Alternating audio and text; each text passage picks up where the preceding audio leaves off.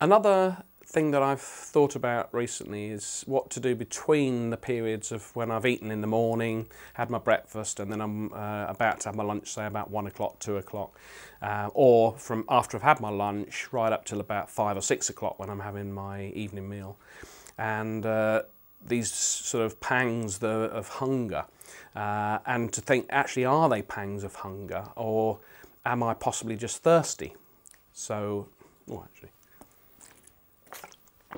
having some water obviously with me wherever I go in the car or in the office uh, or in a customer's house. A lot of the time they ask me would I like a drink and uh, instead of having a tea or a coffee I'll often say can I have a glass of water please. That definitely is helping and uh, I think again sometimes we think we're hungry but actually maybe we're not. Maybe it is just the fact that we need a drink of water and possibly to be busy. So if we're not busy and we're not active then we can think about food more. So being active and busy and thinking about something, having a little project um, and trying the water idea certainly has been helping me so that I'm not snacking between meals, very rarely uh, between meals. So water definitely is a good idea.